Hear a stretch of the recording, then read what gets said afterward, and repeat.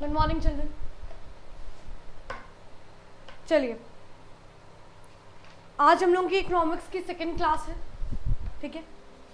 या कह सकते हैं कि आज हम लोगों की इकोनॉमिक्स की क्लास में सेकेंड मुलाकात है। आज हम लोग थोड़ा और आगे बढ़ेंगे। क्या पढ़ रहे थे आज अभी तक हम लोग? अभी तक हम लोगों ने ये पढ़ा कि इकोनॉमिक्स के कितने पार्ट्स होते हैं micro economics and macro economics micro economics क्या स्टडी करता है? कि एक इकोनॉमी के जो इंडिविजुअल यूनिट्स होते हैं, वो कैसे इकोनॉमी में बिहेव करते हैं। ठीक है? उनके सब्जेक्ट मैटर हम सब्जेक्ट मैटर्स हम लोगों ने पढ़े कि इसमें हम लोगों को पढ़ना क्या क्या है। तो हम लोग को उसमें ये पढ़ना है कि product market and product pricing क्या होती है। Factor market and factor pricing क्या होती है? वेलफेयर इकोनॉमिक्स क्या होता है? फिर product market and product pricing के फर्दर क्लासिफिकेशन हम लोगों ने देखे। उसमें था theory of demand theory of production theory of cost theory of product pricing यानी कि एक कंज्यूमर अपनी इनकम को किस तरीके से एलोकेट करता है कि अपनी, ताकि उसकी मैक्सिम सेटिस्फैक्शन जो है वो मैक्सिमाइज हो जाए। एक मैन्युफैक्चरर अपने सारे फैक्टर्स ऑफ़ प्रोडक्शन को कैसे एम्प्लॉय करता है और कितना आउटपुट निका कितना आउटपुट देता है? ठीक है? कैसे वो अपने सारे फैक्टर्स ऑफ़ प्रोडक्शन को इतना तरीके से एम्प्लॉय कर लेता है कि उसका जो उतना ही आउटपुट आता है, जितना उसे चाहिए होता है? थियोरी ऑफ़ कॉस्ट में हम लोगों को क्या पढ़ना है? थियोरी ऑफ़ कॉस्ट में ये पढ़ना होता है कि एक प्रोड्यूसर जो है, एक मैन्युफैक्चरर जो है वो किस पे एम करता है? प्रॉफिट कमाने के साथ साथ उसका एम ये भी होता है कि हमारा कॉस्ट जो है वो मिनिमाइज होता रहे। मेरी कॉस्ट ज़्यादा ना आए। नेक्स्ट जो था वो theory of product pricing obviously बात है कि अगर हमें किसी प्रोडक्ट को बेचना है मार्केट में तो उसकी एक फिक्स प्राइस होनी चाहिए। वो प्राइस कैसे फिक्स होगी? पहले हम उसमें कॉस्ट इंक्लूड करेंगे, फिर genuine level of profit include करेंगे। चलिए। उसके बाद से थर्ड था वेलफेयर इकोनॉमिक्स वेलफेयर इकोनॉमिक्स में हम लोगों को ये पढ़ना होता है कि एक प्रोड्यूसर या एक बिजनेसमैन उसका एम हमेशा ये नहीं होता है कि वो ज़्यादा से ज़्यादा प्रॉफिट कमा ले। उसका एम और ये भी होता है कि जो उसके कंज्यूमर्स हैं, वो उससे पूरी तरीके से क्या होने चाहिए? सेटिस्फाइड होने चाहिए। उनको किसी भी तरीके की परेशानी बिजनेसमैन के प्रॉफिट को लॉन्ग रन में कम कर सकती है। ठीक है? तो ये सारी चीज़ें थी जो हम लोगों ने कल तक पढ़ी थी। आज हम लोग कुछ पढ़ेंगे मैक्रो इकोनॉमिक्स के बारे में, उस दिन हम लोगों ने माइक्रो इकोनॉमिक्स खत्म कर दिया था। आज पढ़ेंगे कुछ माइक्रो मैक्रो इकोनॉमिक्स के बारे में। मैक्रो का मतलब मैंने उस दिन क्या बताया था? बड़ा। तो मैक्रो इकोनॉमिक्स का मतलब क्या होता है? मैक्रो इकोनॉमिक्स का मतलब इकोनॉमिक्स का वो ब्रांच जो बड़ी चीज़ों की स्टडी करता हो। नहीं, जैसे नेशनल इनकम एक बात बताइए, हम लोगों ने माइक्रो इकोनॉमिक्स में देखा कि माइक्रो इकोनॉमिक्स जो है वो इंडिविजुअल फर्म हाउस होल्ड ये लोग कैसे बिहेव कर रहे हैं। ये लोग कैसे प्रोड्यूस करेंगे? इनकी क्या डिमांड होगी? ये कैसे अपने कॉस्ट को मैनिपुलेट करेंगे?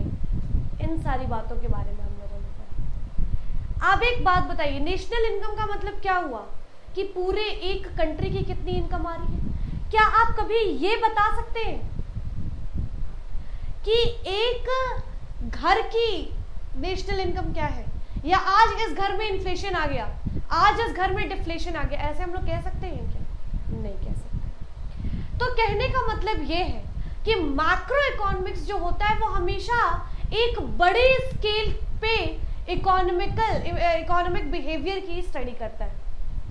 नेशनल इनकम यानी कि एक पूरी कंट्री में जो इनकम जनरेट हो रही है, जो नेट इनकम जनरेट हो रही है when I say the word net it means net कहने का मतलब ये है कि वो इनकम नहीं जो लोग कमाते हैं और उनकी सारी इनकम को हम लोग ऐड करते हैं, वही नेशनल इनकम नहीं।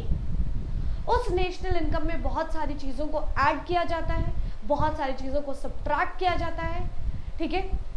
क्या सब ट्रैक किया जाता है, क्या ऐड किया जाता है, ये हम लोग आगे के चैप्टर्स में जो एक नेशनल इनकम का चैप्टर है, उसमें हम लोग पढ़ेंगे। ठीक है? तो कहने का मतलब यह है कि माइक्रो इकोनॉमिक्स इन्हीं सारी चीज़ों की स्टडी करता है। एक पूरी इकोनॉमी में क्या ग्रोथ रेट चल रहा है? ठीक है? उसका और अगर जो भी ग्रोथ रेट है, ज़्यादा या कम, वो क्यों ज़्यादा है या क्यों कम है? एक इकोनॉमी का ग्रोथ रेट हम कैसे बढ़ा सकते हैं? ये हम लोग किसी माइक्रो इकोनॉमिक्स में नहीं पढ़ सकते, क्योंकि ग्रोथ रेट एक फर्म का नहीं देखा जाता, एक हाउस होल्ड का नहीं देखा जाता, वो एक पूरी इकोनॉमी की बात हो रही है यहाँ पर। एक बहुत बड़ी सी चीज़ की बात हो रही है बहुत बड़े स्केल की, बहुत बड़े पैमाने पे बात हो रही है। आ रही बात समझ में? और और क्या चीज़ें होती हैं जो इकोनॉमिक्स मैक्रो इकोनॉमिक्स में पढ़ी जाती हैं? हम लोग अक्सर एक वर्ड सुनते हैं, महँगाई। इन्फ्लेशन जिसको कहते हैं इंग्लिश में। क्या आपने कभी सुना है कि इस घर में महँगाई आ गई है? नहीं। महँगाई एक देश की ही बात एक देश को ही एड्रेस करता है कि इस देश में महँगाई आ गई है। या, इस देश में बहुत क्राइसिस चल रहा है। ये देश बूम पर है ये कंट्री बूम पे है ये कंट्री डिप्रेशन में जा रही है। है ना?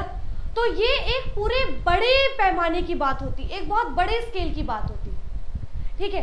तो पूरे एक इकोनॉमी में प्राइस लेवल क्यों राइज कर रहा है? प्राइस लेवल क्यों फॉल कर रहा है? क्या करेंगे तो ये फॉल नहीं करेगा? इसके क्या क्या रीजंस हो सकते हैं? ये सारी चीज़ें हम लोग कहाँ पढ़ते हैं? मैक्रो इकोनॉमिक्स में। तो हम लोगों ने इन सारी बातों से क्या कंक्लूड किया?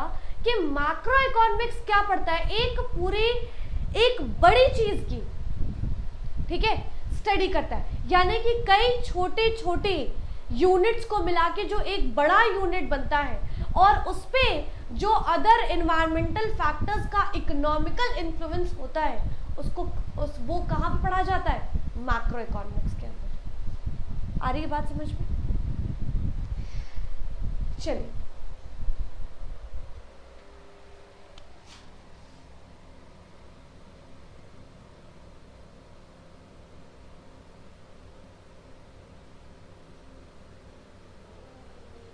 मैक्रो इकोनॉमिक्स क्या होता है? इसको हम और अच्छी तरीके से जानेंगे। जब इसके सब्जेक्ट मैटर्स को पढ़ेंगे, क्या चीज़ें होती हैं जिस, जिसको मैक्रो इकोनॉमिक्स के अंदर हम रीड करते हैं, जो स्टडी करते हैं हम लोग? ठीक है? चलिए, पढ़ते हैं subject matter of economics macro economics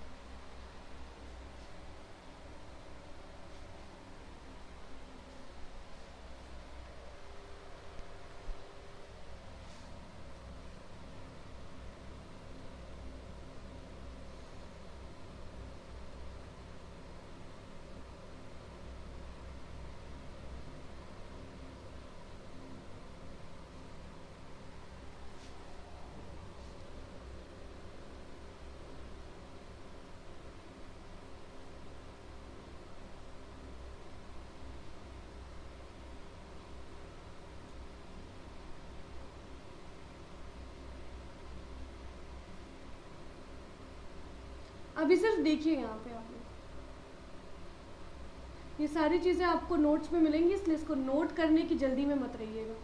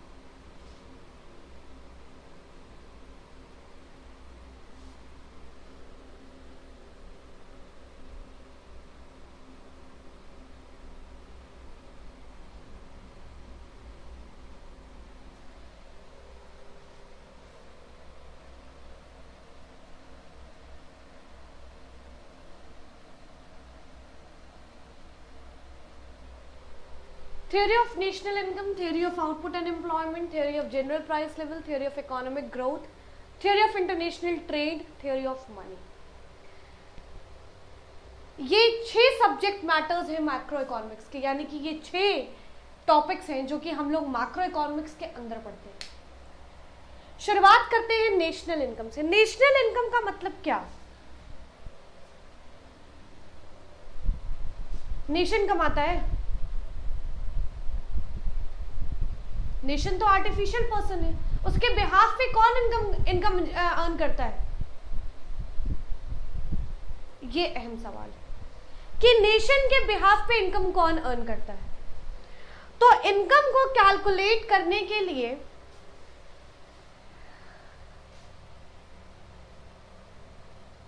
बहुत तरीके से इसको बांटा गया है। सेक्टर्स को बहुत तरीकों से बांटा गया है।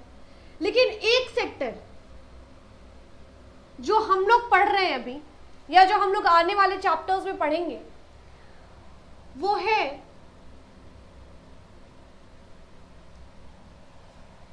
हाउस होल्ड सेक्टर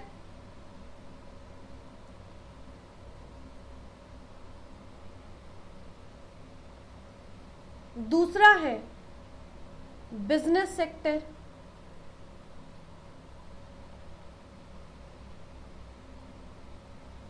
तीसरा है गवर्नमेंट सेक्टर। और फोर्थ है रेस्ट ऑफ़ द वर्ल्ड पूरी इकोनॉमी को ये मान लिया जाता है कि यहाँ यहाँ से पूरी इकोनॉमी में इनकम जनरेट हो सकती है।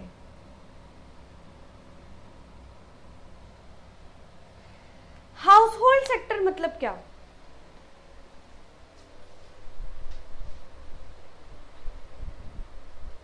होल्ड सेक्टर यानी कि जो घरों से जो इनकम जनरेट होती है, जो डोमेस्टिकली इनकम जनरेट होती है। कैसे अब आप पूछेंगे कि कैसे? डोमेस्टिकली तीन तरीके से इनकम जनरेट होती है। लैंड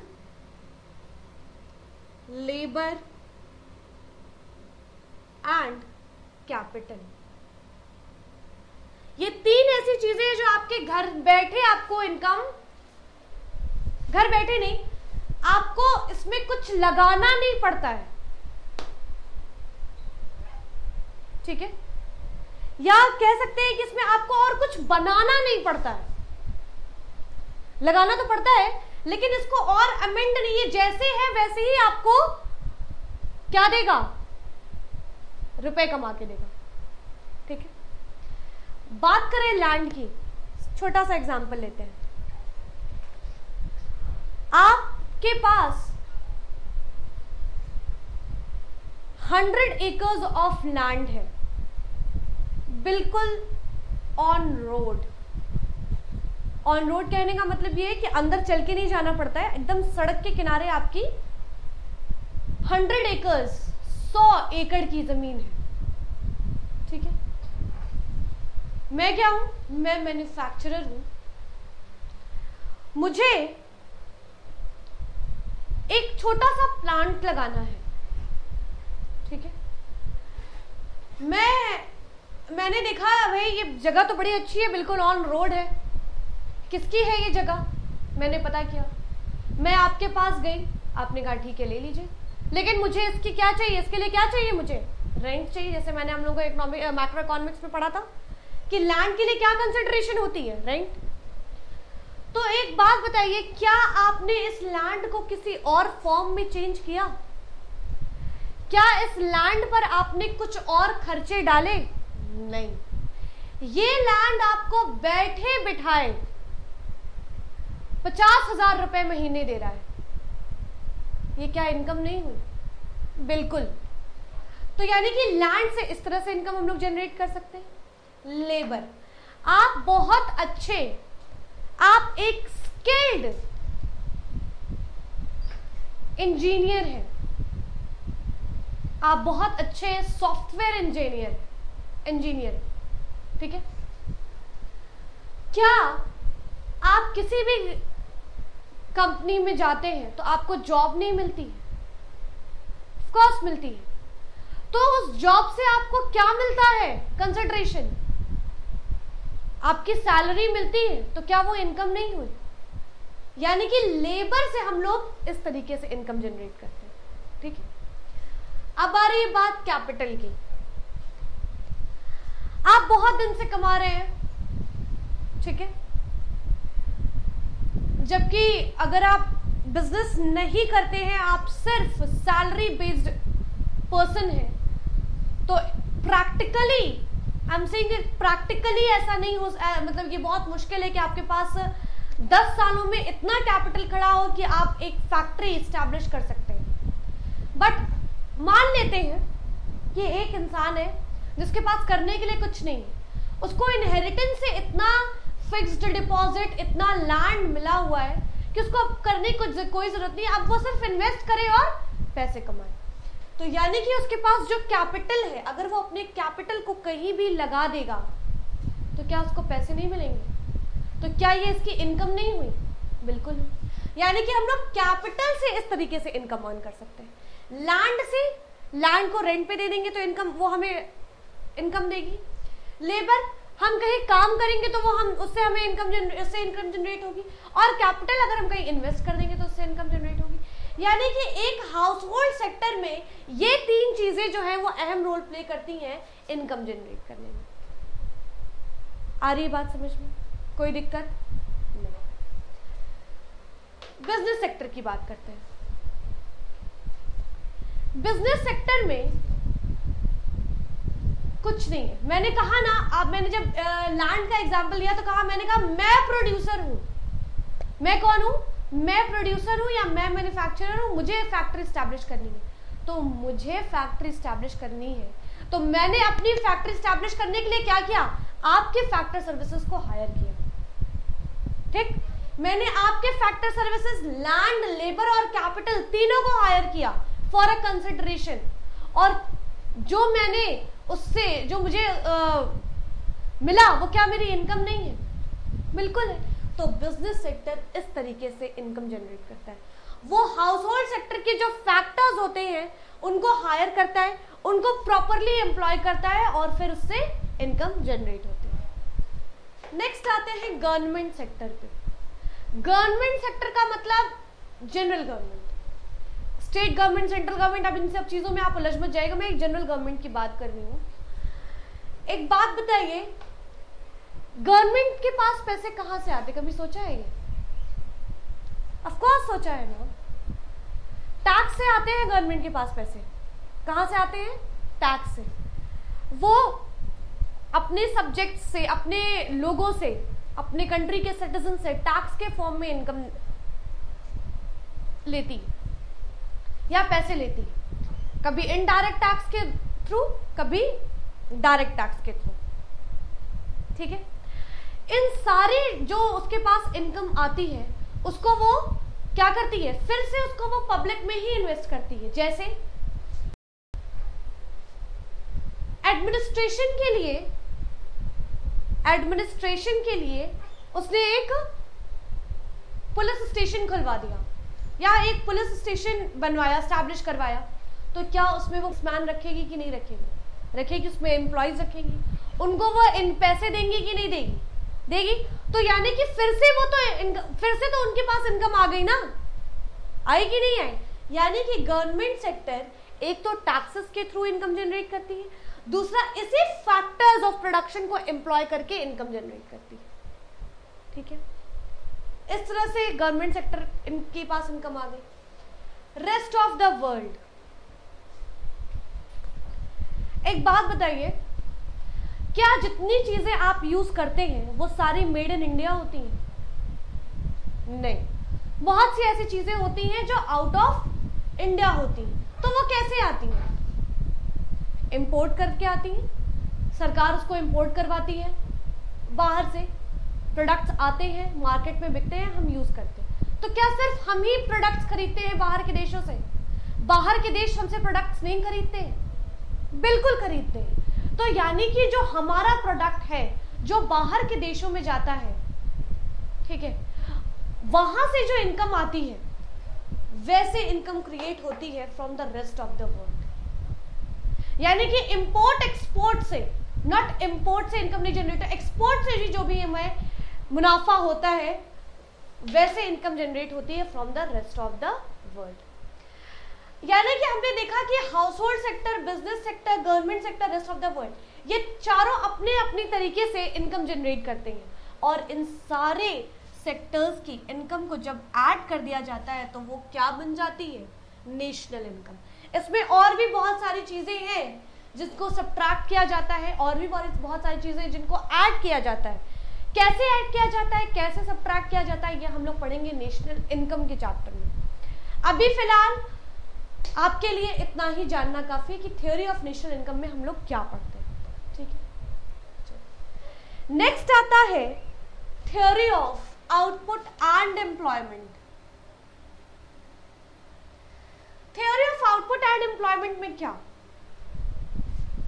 क्या पढ़ते हैं हम theory of output and employment हमें यह बताता है कि एक साल में एक नेशनल टेरिटरी के अंदर सॉरी नेशनल डोमेस्टिक टेरिटरी के अंदर, उस पर्टिकुलर कंट्री के रेजिडेंट्स कितने final goods and services produce करते हैं। ये बताता है थ्योरी ऑफ़ आउटपुट यानी कितना आउटपुट आपका एक पर ईयर में एक कंट्री एक कंट्री जो है वो जेनरेट कर रही है। तो ये कंट्री तो बहुत बड़ा स्केल हो गया ना, है ना? तो बड़ा स्केल हो गया तो हम लोग माइक्रो इकोनॉमिक्स के अंदर पढ़ते हैं उसको। ठीक है? एंड एम्प्लॉयमेंट एक एम्प्लॉयमेंट में क्या पढ़ते हैं? कि एक कंट्री एक साल में उसके पास कितने ऐसे लोग हैं, कितने यंगस्टर्स हैं उसके पास? कितने यंग क्राउड है जो उसकी एम्प्लॉयड है? आपने इलेवेंथ में पढ़ा होगा एम्प्लॉयमेंट भी बहुत कई टाइप्स की होती है। ठीक है? तो एम्प्लॉयमेंट कितने टाइप्स की होती है? कितने लोग हमारे यहाँ एम्प्लॉयड है? कितने लोग किस तरीके के एम्प्लॉयमेंट टाइप्स ऑफ़ एम्प्लॉयमेंट में एम्प्लॉयड है? कितने लोग अनएम्प्लॉयड है? ये सारी चीज़ें हम लोग कहाँ पढ़ते हैं? Theory of output and employment ठीक है? यानी कि थ्योरी ऑफ़ आउटपुट में हम लोग क्या पढ़ते हैं? कि कितना final goods and services generate हुआ। और एम्प्लॉयमेंट में क्या पढ़ते हैं? Employment rate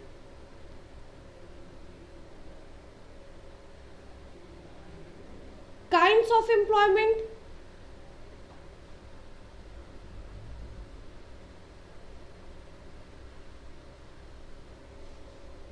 problems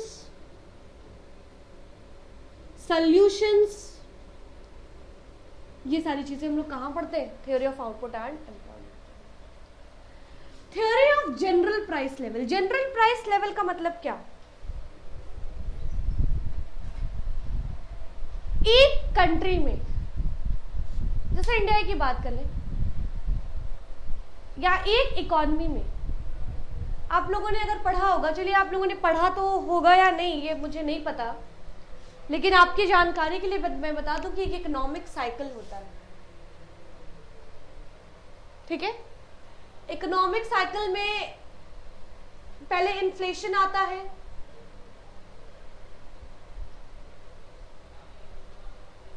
फिर डिप्रेशन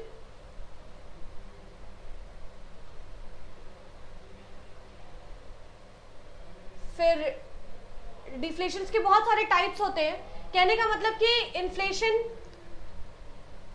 फिर डिफ्लेशन फिर बूम फिर इन्फ्लेशन फिर डिफ्लेशन फिर बूम इसी तरह करके चलता रहता है ये। ठीक है? बहुत सारा इसका, बहुत सारे इसके वो होते हैं, अभी आप उतना समझ नहीं पाएँगे। फर्दर आगे के लेक्चर्स में हम लोग कंटिन्यू करेंगे, लेकिन उसका मतलब कहने का सेंस ये होता है कि पहले इन्फ्लेशन आता है, फिर डिफ्लेशन आता है। ठीक है?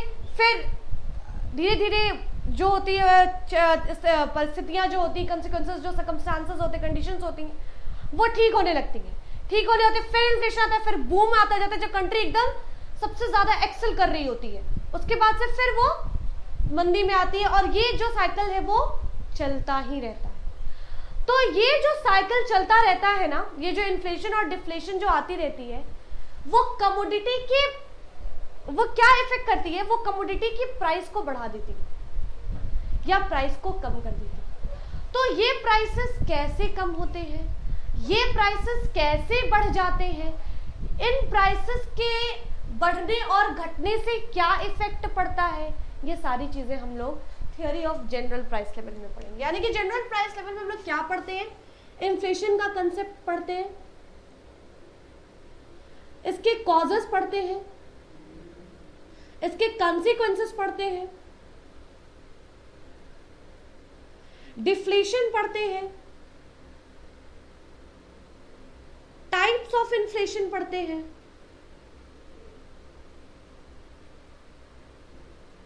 आ रही है बात समझ में? ये चीज़ें होती ठीक? नेक्स्ट है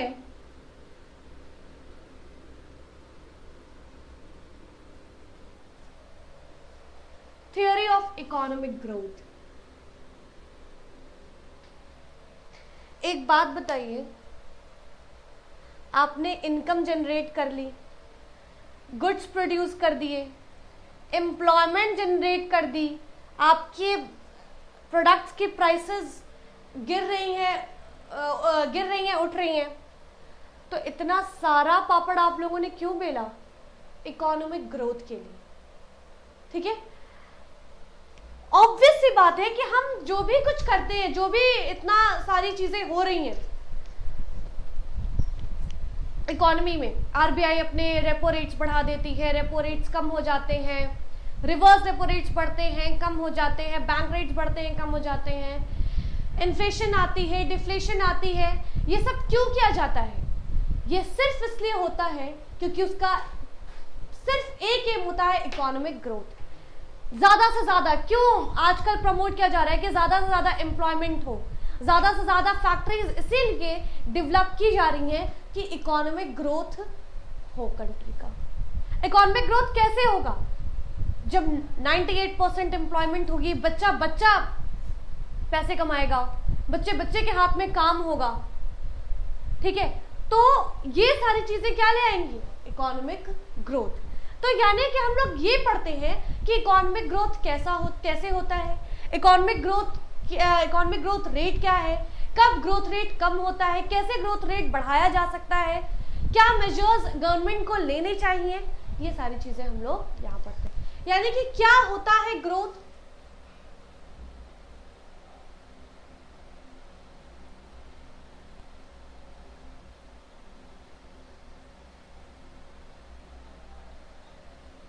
ठीक है? ग्रोथ क्या होता है? मेजर्स अब तक कितना ग्रोथ हो पा क्या हो पाया? यानी कि ट्रेंड क्या रहा है अभी तक? ये सारी चीज़ें हम लोग कहाँ पढ़ते हैं? इकोनॉमिक ग्रोथ क्या है? अब आती है बात थ्योरी ऑफ़ इंटरनेशनल ट्रेड की। किसकी? Theory of international trade theory of international trade में हम लोग क्या पढ़ते हैं? थ्योरी ऑफ़ इंटरनेशनल ट्रेड में हम लोग ये पढ़ते हैं कि मैंने कहा ना कि ऐसा नहीं है कि जो भी प्रोडक्ट्स हम लोग यूज़ करते हैं, वो सारे प्रोडक्ट सिर्फ़ इंडिया मेड इन इंडिया ही होते बहुत सारे ऐसे प्रोडक्ट्स होते हैं जो हम लोग बाहर से खरीदते हैं। तो जो बाहर से खरीदते हैं या जो प्रोडक्ट हमारा बाहर जाता है ये कहीं ना कहीं इनकम जनरेट भी करता है और एक्सपेंस को भी बढ़ाता है। तो कैसे ये इनकम जनरेट करता है? कैसे हमारी एक्सपेंस बढ़ जाती है? क्या हम हमेशा फ़ायदे में ही रहते हैं या हम कभी कभी नुकसान में भी आ जाते हैं? इन, ये इम्पोर्ट एक्सपोर्ट करने के क्या क्या नियम कानून होते हैं? ठीक है? क्या चीज़ें होती हैं जिससे इंटरनेशनल ट्रेड को और इंसेंटिव मिल सकता है और इन्फ्लुएंस इन्फ्लुएंशियल तरीके से वो काम कर सकता है। ये सारी चीज़ें हम लोग यहाँ पढ़ते हैं। जैसे कि इंटरनेशनल ट्रेड में आपके टॉपिक्स जो आते हैं, वो आते हैं balance of payment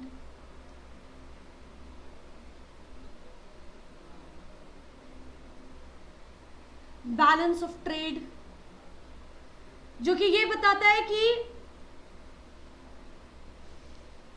import export में इंपोर्ट और एक्सपोर्ट में ज़्यादा कौन है? हम सरप्लस में है या डेफिसिट में है? ठीक है? उसके बाद से कौन से ऐसे ऑर्गेनाइजेशंस हैं जो कि इंटरनेशनल ट्रेड को प्रमोट करते हैं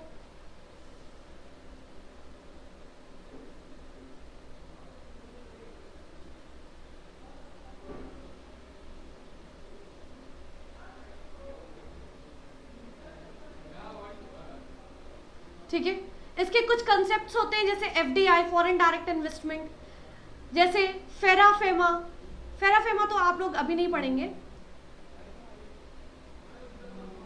ये ये फेरा और फेमा ये जो होते हैं, ये गवर्निंग लॉज है इस इंटरनेशनल ट्रेड के। ठीक है, इसको आप बहुत बाद में पढ़ेंगे, ये आउट ऑफ़ द टॉपिक है। मैंने बस आपको बता दिया। नेक्स्ट आता है theory of money theory of money में हम लोग क्या पढ़ते हैं? क्या पढ़ते हैं हम लोग थ्योरी ऑफ़ मनी में? थियोरी ऑफ़ मनी में हम लोग ये पढ़ते हैं कि ये सारा खेल, यहाँ जो इनकम जनरेट कर लिया हम लोगों ने, यहाँ जो एम्प्लॉयमेंट जनरेट कर लिया, यहाँ प्राइस को बढ़ा दिया, घटा दिया, यहाँ मेजर कर लिया कि बढ़ रहे हैं कि पीछे जा रहे हैं, ये बाहर के देशों से ट्रेड कर लिया। तो ये सारा खेल जो होता है वो किसका होता है? पैसे का होता है मनी का होता है। तो जब हमें यही नहीं पता होगा कि मनी क्या है तो ये इतनी सारी चीज़ें कैसे पढ़ेंगे? तो ये जानते हैं कि मनी क्या होती है। इसका पास्ट क्या था? कैसे मनी इवॉल्व हुई? Evolution of money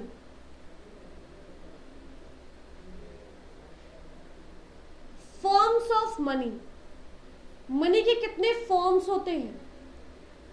functions of money money का क्या फ़ंक्शन होता है? ये सारी चीज़ें हम लोग कहाँ पढ़ते हैं? Theory of money macro economics का सब्जेक्ट मैटर तो ये सारी चीज़ें हैं जो हम लोग पढ़ते हैं मैक्रो इकोनॉमिक्स के अंदर। आ रही बात समझ में?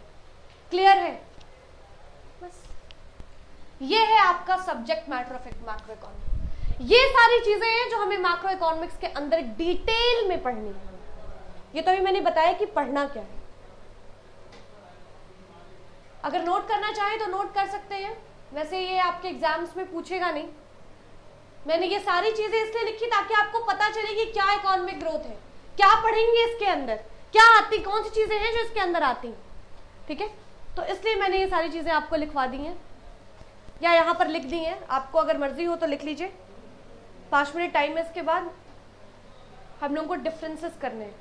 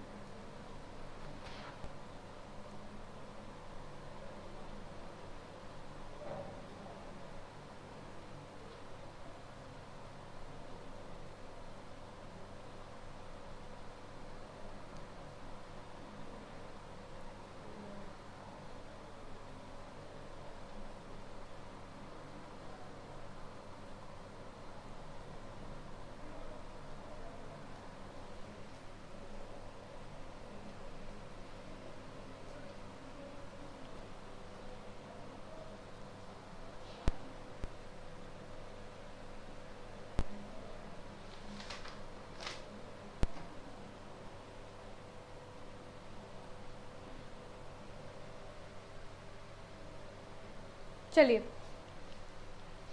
नेक्स्ट जो है देखते हैं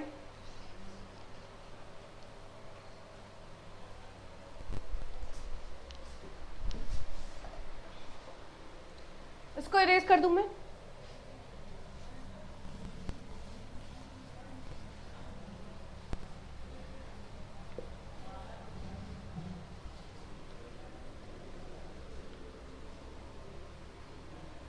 हम लोगों ने माइक्रो इकोनॉमिक्स पढ़ लिया मैक्रो इकोनॉमिक्स पढ़ लिया। अब पढ़ते हैं कि इन दोनों के बीच का डिफरेंस क्या है।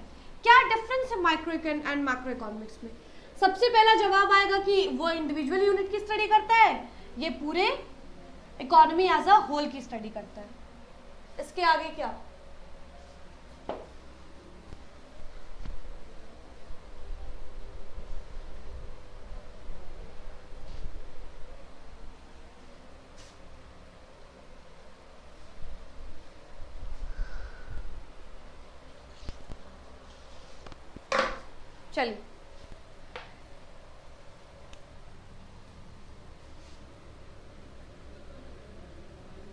Difference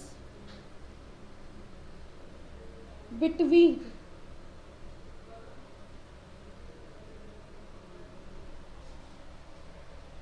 micro and macro.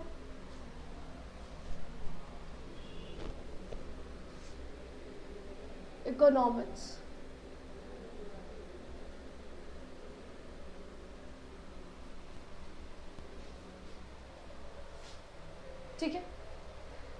क्या डिफरेंस होता है?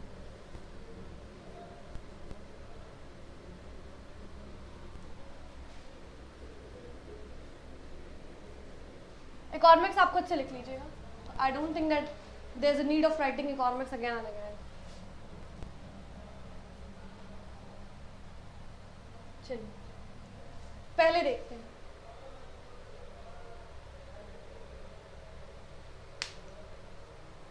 बेसिस इसका बेसिस है unit of study.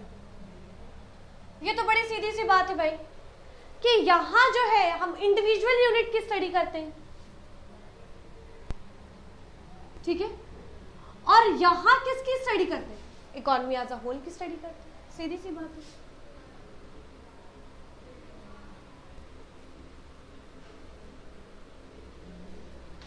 Next difference जो है, वो है focus of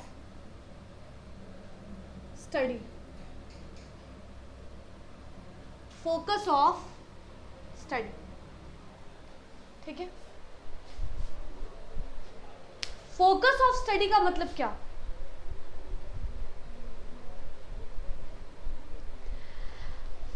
यानी कि माइक्रो इकोनॉमिक्स किस पे फोकस करता है? माइक्रो इकोनॉमिक्स का फोकस ये रहता है, ये जान, ये जानना चाहता है वो कि एक मार्केट कैसे फ़ंक्शन करता है। ठीक है? वो ये जानना चाहता है कि बहुत सारे जो मार्केट्स होते हैं, वो कैसे फ़ंक्शन करते हैं। वो कैसे प्राइसेस डिटरमाइन करते हैं?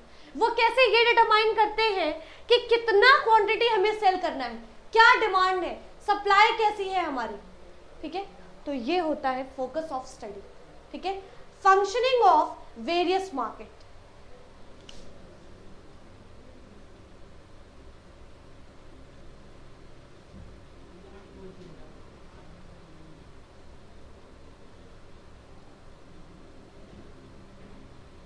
functioning of various market और मैक्रो इकोनॉमिक्स क्या क्या चीज़ की, किस चीज़ की स्टडी करता है? मैक्रो इकोनॉमिक्स ये देखता है कि मैंने बताया ना मैक्रो बड़ी बड़ी चीज़ों से डील करता है। बड़ी बड़ी चीज़ें। बड़ी चीज़ों में क्या आएगा कि पूरी एग्रीगेट इनकम क्या है? सारे लोगों के, सबके इनकम मिला के इनकम क्या है? एग्रीगेट आउटपुट कितना है?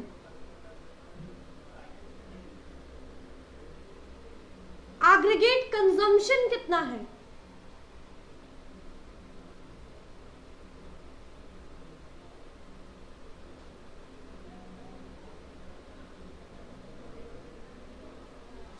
ठीक है? Next basic parameter of the subject matter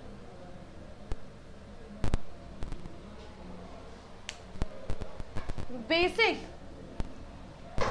parameter of the subject matter.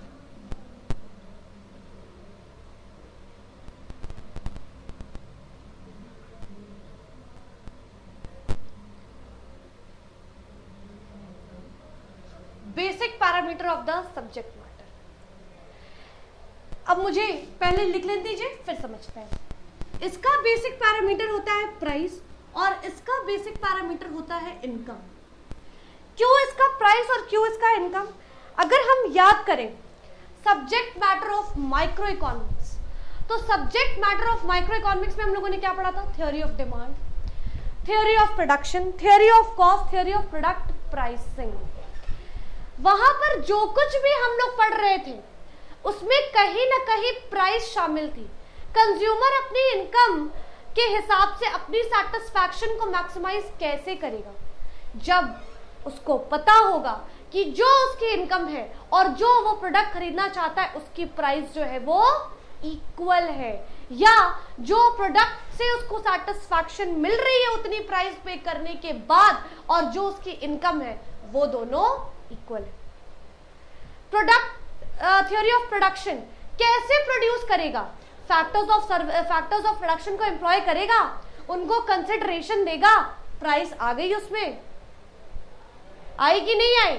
Theory of cost आखिर जब उसको पता होगा कि उसने अपने फैक्टर्स को कितने में बेचा, क्या प्राइस है उसके फैक्टर्स की, तभी तो वो जान पाएगा ना कि कॉस्ट कितनी आ रही है और उसी हिसाब से तो उसको मिनिमाइज करेगा।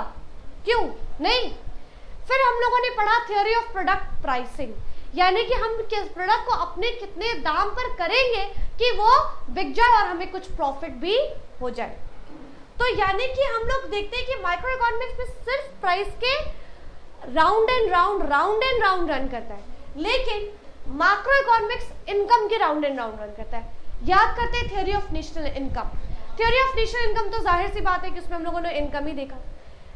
फिर हम लोगों ने देखा theory of output and employment output का मतलब क्या? कि फाइनल गुड्स एंड सर्विसेज़ कितना जनरेट हो रहे हैं? हम लोग कितने लोग हमारे यहाँ एम्प्लॉयड है? एम्प्लॉयमेंट का मतलब क्या? सिर्फ़ एम्प्लॉय और कुछ ना कमाए तो इकोनॉमिक ग्रोथ होगी क्या? नहीं। यानी कि मैक्रो इकोनॉमिक्स जो है, वो इसी तरह इनकम के राउंड एंड राउंड घूमता है। हम लोग वहाँ ये देखते हैं मैक्रो इकोनॉमिक्स में कि इनकम अच्छी हो रही है कि नहीं। और माइक्रो इकोनॉमिक्स में हम लोग देखते हैं प्राइस क्या है? प्राइस के अकॉर्डिंग ही सारी चीज़ें डिटरमाइन होती हैं। और यहाँ इनकम के अकॉर्डिंग सारी चीज़ें डिटरमाइन होती आ रही बात समझ में? नेक्स्ट है।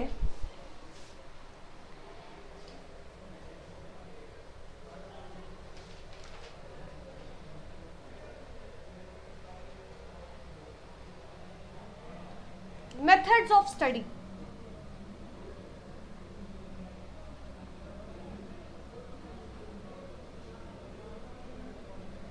methods of study का मतलब कि इसको हम लोग किस तरह से स्टडी करते हैं और इसको किस तरह से इसका क्या तरीका इसको पढ़ने का तरीका ये है सेट्रिस पेरिबस सेट्रिस पेरिबस का मतलब ये कि हम लोग एक चीज़ को कांस्टेंट करते एक वेरिएबल को उसके कांस्टेंट करते बाकी सारे वेरिएबल्स को सॉरी एक वेरिएबल को चेंज करते हैं, बाकी सारे वेरिएबल्स को कांस्टेंट रखते हैं। उसका एक वेरिएबल जो होता है वो चेंज होता है।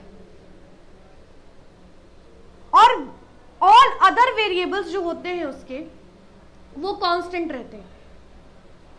और ये जो वेरिएबल चेंज होता है ना, इसी के चेंज का इफ़ेक्ट हम लोग देखते हैं। ठीक है?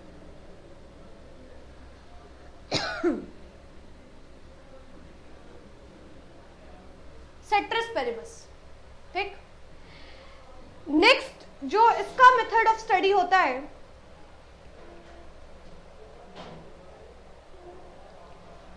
कॉसी जनरल इक्विलिब्रियम एनालिसिस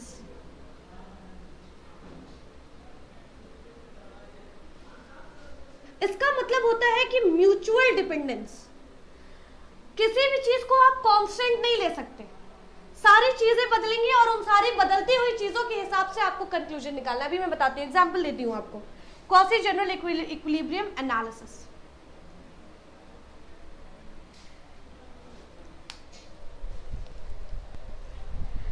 एक बात बताइए, मैंने कहा आप लोगों से नेशनल इनकम में फोर सेक्टर्स आते हैं household sector business sector government sector और रेस्ट ऑफ़ द वर्ल्ड ठीक है फिर मैंने आप लोगों को बताया कि theory of output and employment में हम लोग ये देखते हैं कि कितने final goods and services generate हो रहे हैं डोमेस्टिक टेरिटरी के अंदर और कितना एम्प्लॉयमेंट एक पर ईयर एक कंट्री में कितनी एम्प्लॉयमेंट जनरेट हो रही है। ये चीज़ें देखते हैं हम एक बात बताइए। अगर मैं ये मान लू कि फैक्टर सर्विसेज़ जो है सॉरी हाउस होल्ड सेक्टर की जो हाउस होल्ड सेक्टर है तो फैक्टर सर्विसेज़ जनरेट करते हैं। जो फैक्टर सर्विसेज़ है वो कांस्टेंट हो जाएँगी। तो क्या बिज़नेस सेक्टर को कुछ मिलेगा? अगर मैं ये कह दूँ कि हाउस होल्ड सेक्टर जो है वो फैक्टर सर्विसेज़ चेंज नहीं होंगी। कहने का मतलब ये है कि जितने लेबर्स है, उतने ही लेबर्स रहेंगे। अब और लेबर्स नहीं आ सकते। तो क्या बिज़नेस सेक्टर कभी इनकम जनरेट कर पाएगा? नहीं कर पाएगा। अगर जनरेट करेगा भी तो जितने प्रेजेंट बिज़नेस सेक्टर है ना, सिर्फ़ उतने ही जनरेट करेंगे। है कि नहीं है? अगर मैं कह दूँ कि चार लेबर हैं ठीक है? इन चार लेबर से ज़्यादा आपको पांचवा लेबर नहीं मिलेगा। आप घर बनवा रहे हैं, आपको मैं कह दूँ कि चार लेबर हैं आपके पास। चार से पांचवा लेबर आपको नहीं मिलेगा। तो एक बात बताइए, क्या इन चार लेबर की प्राइस बहुत ज़्यादा नहीं हो जाएगी? और क्या सिर्फ़ आप अकेले नहीं होंगे जिनका घर बनेगा? बाकी सारे लोग मुँह देखेंगे एक दूसरे का।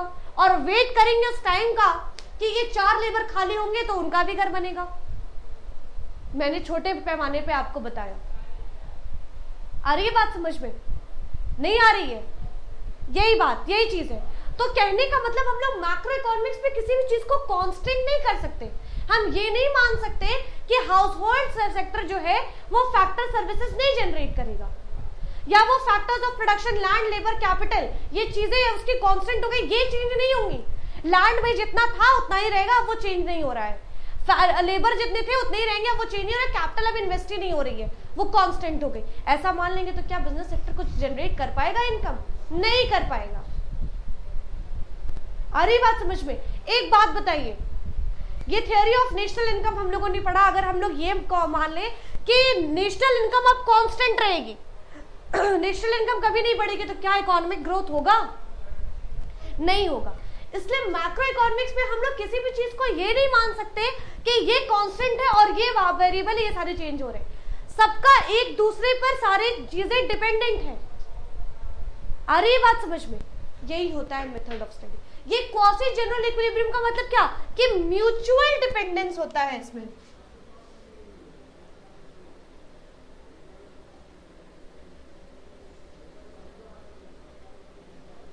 और इसमें क्या होता है? म्यूचुअल डिपेंडेंस नहीं होता है। इसमें अगर मैं ये सारे फैक्टर्स को कांस्टेंट करके एक फैक्टर को चेंज करूँ तो ये जो इफ़ेक्ट डालेगा, उस पर्टिकुलर कॉन्सेप्ट पे उससे ही पूरी डिटेल्स हम लोग जान सकते हैं। रही बात समझ में? जी। चलिए। नेक्स्ट है नेचर ऑफ़ अजम्पशन नेक्स्ट क्या है? नेचर ऑफ़ अजम्पशन मैं ऊपर वाला रब कर देती हूँ। ऊपर के टॉपिक्स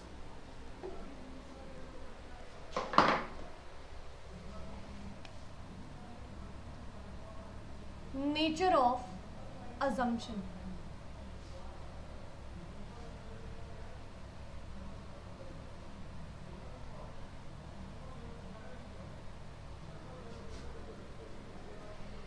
जो चीज़ हम लोग इसमें अज्यूम करते हैं कि ये गिवन है वही चीज़ इसमें अज्यूम करते हैं कि हम लोग को फाइंड आउट करनी है। एग्ज़ाम्पल यहाँ पे हम लोग ये अज्यूम कर लेते हैं कि employment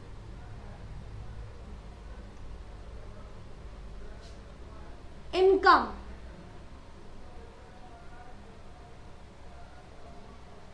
employment income price level ये सारी चीज़ें हमको दी गई हैं। यानी कि ये हमें प्रोवाइडेड है और इसके बेसिस पे हमें ये पता करना है कि एलोकेशन ऑफ़ रिसोर्सेस कैसे करेंगे। प्रोडक्ट की प्राइस हम लोग कैसे निकालेंगे। ठीक है? ये हम लोग देखते हैं। इसमें अजम्पशन क्या मानते हैं कि ये सारी चीज़ें गिवन है। क्या है? गिवन और मैक्रो इकोनॉमिक्स में ठीक इसका उल्टा अज्यूम करते हैं। हम लोग ये अज्यूम करते हैं कि हमें पता है कि हमारे रिसोर्सेस कैसे एलोकेट हुए। हमें पता है कि हमारे प्राइसेस क्या है। हमारे प्रोडक्ट्स की प्राइसेस क्या है। हमें ये पता है, हमें निकालना क्या है कि एम्प्लॉयमेंट कितनी है। ये सारी चीज़ें हमें क्या है? गिवन और हमें फाइंड आउट क्या करना है कि एग्रीगेट एम्प्लॉयमेंट कितनी है। एग्रीगेट आउटपुट कितना है? इसके बेसिस पे हम ये निकालते हैं कि एग्रीगेट कंजम्पशन कितना हुआ। अलोकेशन ऑफ़ रिसोर्सेज हो गए, लेकिन एग्रीगेट कंजम्पशन कितना हुआ, ये हमें निकालना आ रही है बात समझ में? तो नेचर ऑफ़ अजम्पशन ये होता है कि यहाँ पे जो चीज़ हम लोग अज्यूम करते हैं कि हमें ये दी गई है, अब इसके बाद हमें क्या निकालना है? प्राइस कितनी है? अलोकेशन ऑफ़ रिसोर्सेज कितना है? ठीक, इसका उल्टा यहाँ पे अज्यूम करते हैं। हमें ये अज्यूम करते हैं कि अलोकेशन ऑफ़ रिसोर्स हमको पता है। मुझे पता है कि मेरे प्रोडक्ट की प्राइस कितनी मुझे ये निकालना है कि एम्प्लॉयमेंट कितनी है इनकम कितनी जनरेट हो रही है। ठीक है? और कंजम्पशन कितना हो रहा है। ठीक है? तो ये कुछ डिफरेंस है। एक लास्ट डिफरेंस ये है कि डिफरेंट पर्सपेक्टिव डिफरेंट पर्सपेक्टिव का मतलब ये होता है कि वही माइक्रो इकोनॉमिक्स आप दूसरी तरीके से देखेंगे और मैं दूसरी तरीके से देखेंगे। कहने का मतलब यह है कि माइक्रो इकोनॉमिक्स को, मैं एक फ्रेज यहाँ पे पढ़ती हूँ। Micro economics is the bottom up view of the economy and micro economics is the top down view कहने का मतलब यह है different perspectives micro economics and macro economics look at the economic issues from different perspective कहने का मतलब ये है कि माइक्रो इकोनॉमिक्स अगर इकोनॉमी की छोटी छोटी चीज़ों को रीड करता है तो माइक्रो इकोनॉमिक्स जो है वो उसकी बड़ी बड़ी चीज़ों को। एक इकोनॉमिस्ट का कहना है, जो मैंने अभी फ्रेज रीड किया कि micro economics is the bottom up view of the economy and micro economics is the top down view bottom up view का क्या मतलब?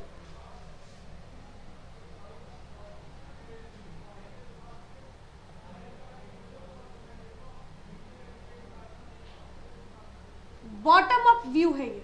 ये सोचता है, ये bottom up view of the economy है।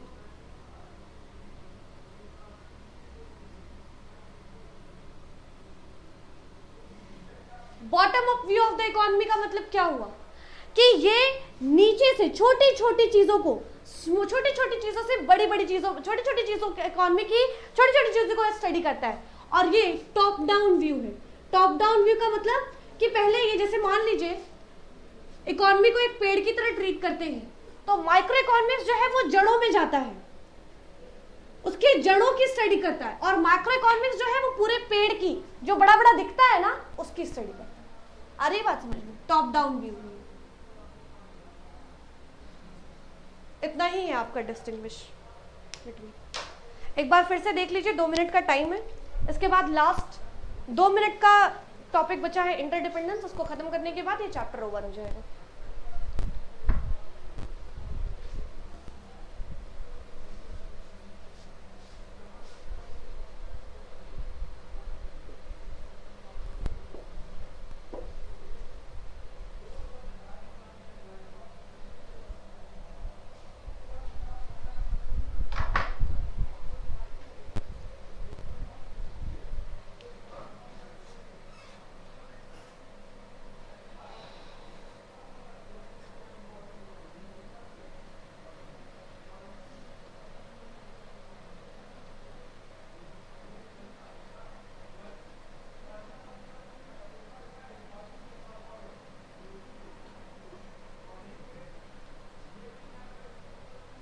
चलिए।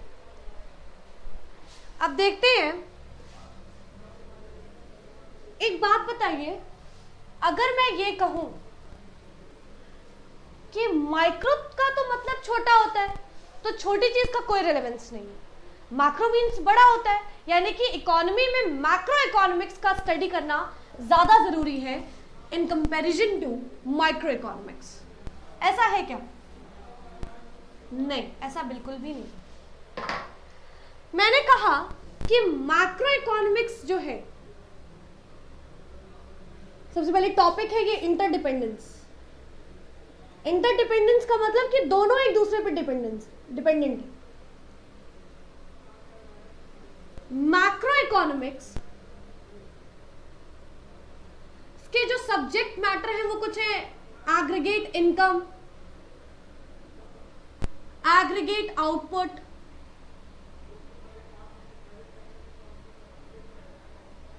फिर इकोनॉमिक ग्रोथ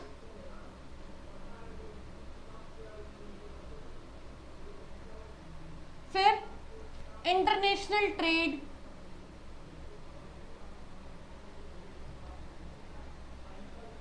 फिर मनी ये कुछ मैक्रो इकोनॉमिक्स के सब्जेक्ट मैटर अब इन सबको एज्यूम करिए।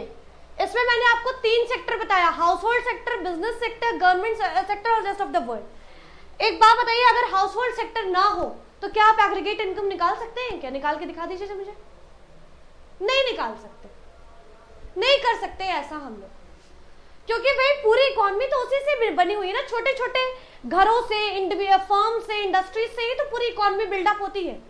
तो कहने का मतलब क्या एग्रीगेट इनकम उसके बिना निकाल सकते हैं? एग्रीगेट आउटपुट मुझे यही नहीं पता है कि मेरे मेरे इकोनॉमी में बिज़नेस सेक्टर कितने हैं। तो आउटपुट जनरेट कहाँ से हो रहा है फिर?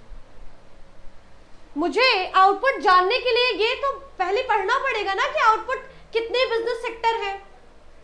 ठीक है, और वो आउटपुट कैसे जनरेट करते हैं, उनकी कॉस्ट क्या आती है? कॉस्ट के अकॉर्डिंग आउटपुट कितनी जनरेट हो रही, क्यों नहीं जनरेट हो रही है? तो यानी कि एग्रीगेट आउटपुट को पढ़ने के लिए भी मुझे ये पढ़ना पड़ेगा कि प्रोडक्शन क्या है। ठीक है फाइनल गुड्स एंड सर्विसेज़ कितनी है, ये जानने से पहले मुझे ये पढ़ना पड़ेगा ना प्रोडक्शन हो रहा है कि नहीं हो रहा है। चलिए इकोनॉमिक ग्रोथ एक बात बताइए, मैंने आपको अभी एक एग्ज़ाम्पल दिया कि ये अगर, ये ये ट्री अगर इकोनॉमी है तो माइक्रो इकोनॉमिक्स इसके रूट्स की स्टडी करता है। और माइक्रो इकोनॉमिक्स ये पूरी लीव्स की, बड़े पार्ट की स्टडी करता है। एक बात बताइए मुझे अगर इस रूट्स में कहीं कोई गड़बड़ी आ जाए तो क्या ऊपर लीव्स फ्लरिश करेंगे? इनको क्या नरिशमेंट मिलेगी? नहीं मिलेगी। Same is the case with economic growth अगर हमारी फर्म्स एंड इंडस्ट्रीज़ बैठ जाएँ तो क्या इकोनॉमिक ग्रोथ कभी हो सकता है? नहीं हो सकता। ठीक है? नेक्स्ट इज़ इंटरनेशनल ट्रेड एक बात बताइए इंटरनेशनल ट्रेड में एक्सपोर्ट इंपोर्ट तो करते हैं ना? तो क्या सरकार खुद फैक्ट्री बैठाती है और खुद लेकर बैठती है सारी चीज़ें और बनाती है और फिर बेचती है। नहीं। ये छोटे छोटे बिजनेसमैन जो है ना, इन्हीं से सरकार प्रोडक्ट्स को खरीदती है और तब वापस उसको एक्सपोर्ट करती है। अल्टीमेटली ये छोटे बिजनेसमैन ही हैं जो एक्सपोर्ट में कंट्रीब्यूशन देते हैं। ठीक है? तो छोटे बिजनेसमैन छोटे फर्म की स्टडी तो माइक्रो इकोनॉमिक्स में ही होगी ना। पहले छोटे की स्टडी कर लेंगे, फिर तो बड़े की स्टडी करेंगे। ठीक है? मनी एक बात बताइए। मनी तो हम लोग पढ़ लेते हैं। तो क्या जो छोटी फॉर्म्स है, जो इंडिविजुअल यूनिट्स है, उनमें मनी की कोई ज़रूरत नहीं पड़ती है? बिल्कुल पड़ती है। तो मनी बड़ा कंसेप्ट ज़रूर है, लेकिन उसका रिलेशन जो है, वो छोटे से लेकर बड़े तक है। इसीलिए कहा जाता है कि माइक्रो माइक्रो इकोनॉमिक्स जो होता है, वो माइक्रो पे डिपेंडेंट होता है। बिना माइक्रो के मैक्रो इकोनॉमिक्स की स्टडी नहीं की जा सकती। आ रही है बात समझ में? क्लियर है ये सारी चीज़ें? यही होता है इंटरडिपेंडेंस इसको एक बार और आप लोग देख लीजिए।